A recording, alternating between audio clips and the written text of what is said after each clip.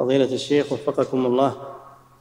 يقول كيف الجمع بين أن من السنة وضع اليدين تحت السرة وبين الحديث الوارد عن النبي صلى الله عليه وسلم في الصحيحين من نهي الرسول صلى الله عليه وسلم أن يصلي الرجل مختصرا؟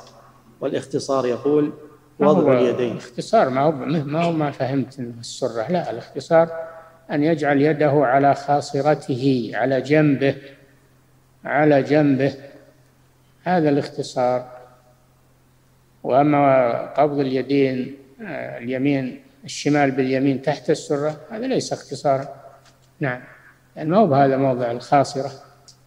الاختصار وضع اليد على الخاصرة. نعم. إعداد مشروع كبار العلماء بالكويت. أعزها الله بالتوحيد والسنة.